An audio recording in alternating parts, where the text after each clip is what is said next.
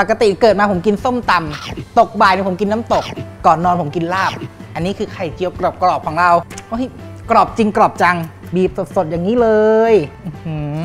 ถ้าเกิดอยากทานลาบก็ใช้เนื้อสัตว์บดถ้าเกิดอยากทานน้ำตกก็ใช้เนื้อสัตว์เป็นชิ้นๆ สังเกตว่าเวลาเราทิ้งตัวข้าวของเราลงไปทิ้งไปข้างหน้าแบบนี้นะคะ โอ้โหกรอบกรวบน่ากินมาก เต็มปากเต็มคำทุกวันพุธนะครับ เวลาใหม่บ่าย2โมง45 นาทีทางช่อง Workpoint TV หมายเลข 23 ครับ